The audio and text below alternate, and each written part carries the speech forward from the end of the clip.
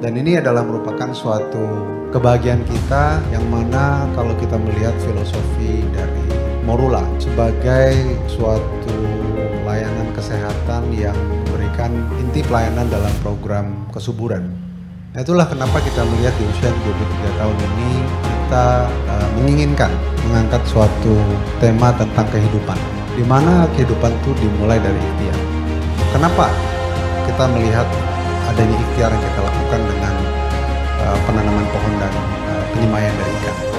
Pembibitan itu adalah satu bagian dari kehidupan. Dan kalau kita sudah mempersiapkan itu dengan baik, dari awal bibit yang bagus, ujungnya akan menjadi turunan yang baik.